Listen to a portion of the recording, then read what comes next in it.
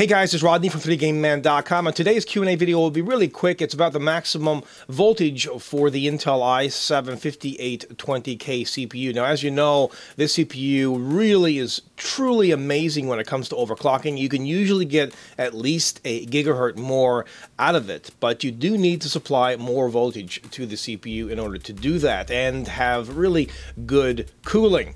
So what is the maximum voltage for the CPU? Well, it really depends. Let's just use the BIOS here as an example. And this is the Asus X99A, and uh, actually this is the USB 3.1 edition of it. But if, for example, some people say it's 1.35. Well, if I go to 1.35, you're still fine. This is a safe zone. 1.4, eh, you're kind of, you know, getting into not so safe zone. 1.39 still. So when you go from 1.39 to 1.4, you know, that's that's an iffy zone. Let's let's put it that way. It's an iffy zone. So if I go 1.5, that's still in the iffy zone. 1.59, still in that iffy zone. I wouldn't necessarily push this. That's that's pretty high. But 1.6, and then we're completely into the danger zone. Some people go to 1.4 ish that being said, I'd recommend for most people to stay between 1.3 to 1.35 volts.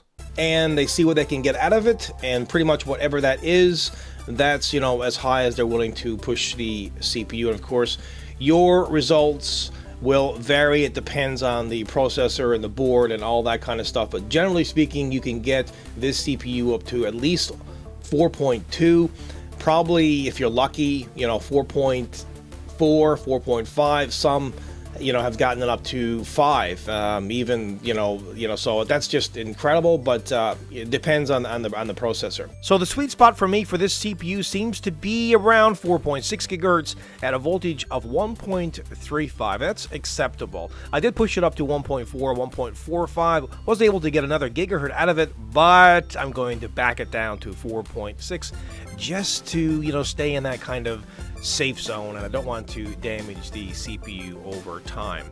Now I am using the Corsair H110i GTX AIO, so that definitely does help when it comes to overclocking. Having an amazing CPU cooler is going to be really the difference between being able to overclock your CPU and not certainly sustaining it. You can overclock it, and then, of course, when you max everything out, the temps are going to go way up above 80 or 90, and it's going to fail. So, having an awesome cooler definitely helps them. And by the way, if you have a new Asus board, this pretty much goes for a lot of the manufacturers these days. It usually comes with overclocking software. The Asus boards come with this dual intelligent processors 5, this is the current release, and you can really use that to tweak the system and overclock everything automatically. So I just thought I'd throw that out there. Again, I hope you enjoyed this video, and if you enjoyed the other ones that I'm doing, please like them, subscribe to the channel, and as always, your comments are more than welcome. I'd love to hear from you on this. If you have the CPU, let us know how much much actual voltage that you're pushing